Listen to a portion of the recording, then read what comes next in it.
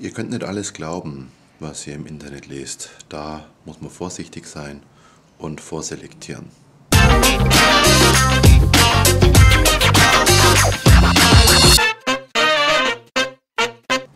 Welcome at ActTV. Mein Name ist Michael Langhans, ich bin ehemaliger Rechtsanwalt und YouTube-Aktivist und dies ist mein Kanal.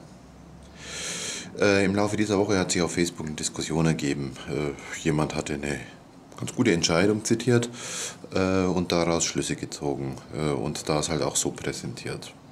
Äh, was, wo, wie spielt jetzt erst einmal keine Rolle.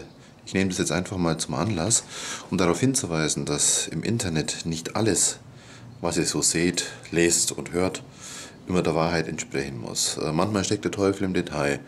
Äh, gerade bei Zusammenfassungen oder Meinungen von irgendwelchen Leuten solltet ihr euch bitte immer die Mühe machen, wenn das eurer Meinung nach für euer Verfahren wichtig ist, dass ihr nachschaut und nachlest. Äh, die Entscheidungen ziehen ist heutzutage relativ einfach, sind nicht alle veröffentlicht, aber viele.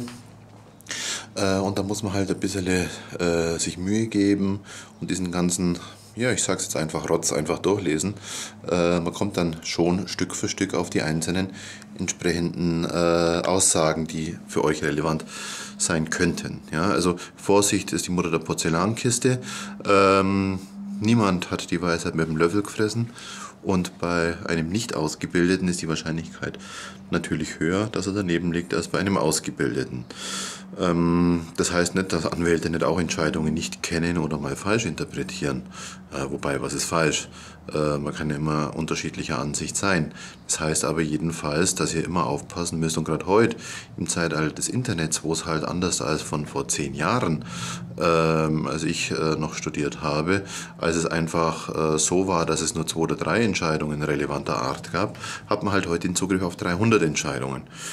das ist manchmal ganz praktisch, weil man halt auch die Mindermeinung von der Mindermeinung kennenlernt, aber es hat halt auch den Nachteil, dass es bisweilen so ist, dass viele Aspekte einfach versteckt sind in einer Vielzahl von äh, juristischen Argumenten. Und deshalb möchte ich euch an dieser Stelle äh, einfach warnen. Ähm, das heißt nicht, dass im Internet nur Blödsinn ist. Nee, äh, jede Entscheidung oder jeder Kommentar ist wichtig, wenn man gemeinsam dann auf die notwendigen, richtigen Entscheidungen kommt. Aber manchmal muss man halt einfach genau lesen, um die tatsächliche Entscheidungsbedeutung ja, herauslesen zu können. Also seid einfach vorsichtig. Ähm, das war's mit diesem Video. Ich würde mich freuen, wenn ihr es liked oder meinen Kanal abonniert. Bis bald.